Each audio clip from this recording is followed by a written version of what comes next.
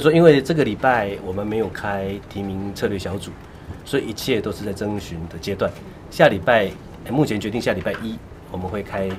下一次的提名策略小组，那送下周三的中时会来做最后的决定。那应该会也一定会在这五个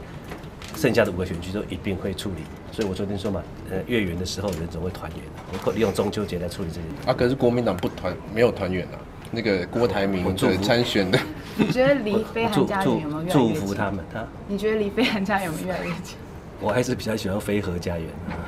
那你觉得郭台铭要参选这件事情，对你们来说有评估过对总统的？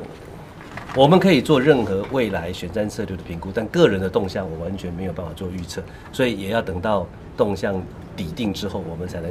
呃确定我们下一个阶段整个的选战的策略。啊，刚不过你们现在那个跟时代力量，因为一直都没有谈后续的部分，那不知道是不是因为可能希望呃有可能让黄国昌突出来选总统？我之前说过，我们两边的主席室的幕僚都有在联系。那我现在我所知道，我们罗秘书长也有进一步要做下一个波段的一个联系。那我希望至少，呃，双方如果秘书长能够先见面谈一谈，延续过去谈的这个基础，那也是一个正面的发展。然后我我我我期待这个能够尽快的进。我我们是一个自由民主人权的国家啊，所以我也希望我们的人民也同样受到这样的保障。但在中国要要求这样全面的有自由民主人权，是一个比较难的一个要求了。但是如果今天中国想要跃上国际舞台，它不能忽略这一块，这个是跟世界文明的接轨。但是我们会从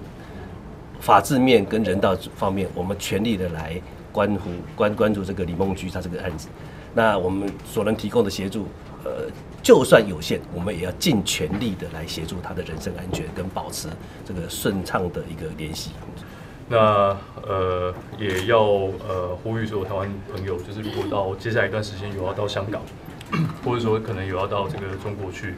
呃，不管是经商或者各式各样的呃生意，那或是去旅游，都要特别注意，就是自己的人身安全。